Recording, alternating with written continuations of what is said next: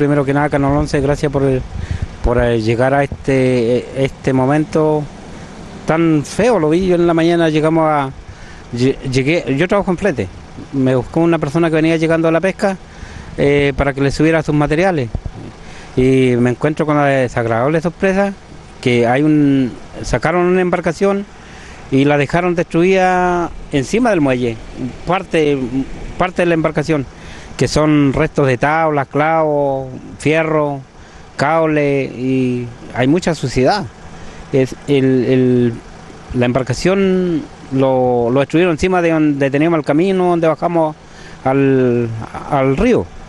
Entonces era una parte que le pedimos hace tiempo atrás, cuando estaba alcaldesa la, la señora Marisol, y tiraron unas camionetas rápido, nosotros mismos lo desparramamos, lo, lo ordenamos, eso quedó bien.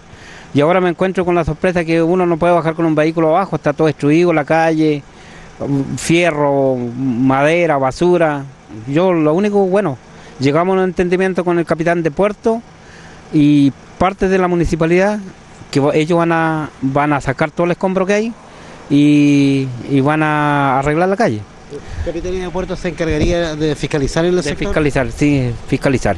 ¿Y por qué ellos autorizaron de sacar la embarcación? Yo no estoy ajeno a que no hayan sacado la embarcación, que está en muy malas partes por las embarcaciones que, que navegan por el río. Pero también hay que tener un orden y tenemos un santuario y nosotros somos parte de la comunidad de San Pedro que ya ahora en junio vamos a tener la procesión que, hacemos todos los años. Entonces, eh, nuestro embarcadero y desembarquera es esa parte. Entonces, bueno, bueno por una parte que llegamos a un acuerdo, porque igual de repente la autoridad cuando lo ven medio callado uno, le echan la caballería encima. Eso estaba pasando, pero justamente llegó la parte de la municipalidad y llegamos a un buen acuerdo. Y llegó la señor, señorita Marine Boyarzún, también le doy gracias a César y, la señorita María Inés que, llegaron al sector y pudimos arreglar el, cuento.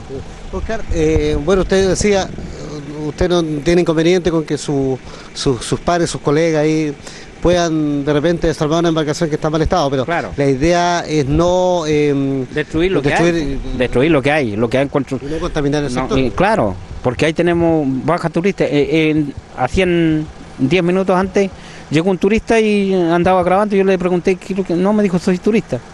Imagínate la impresión que se llevan, la imagen que se llevan de nuestra, de nuestra comunidad.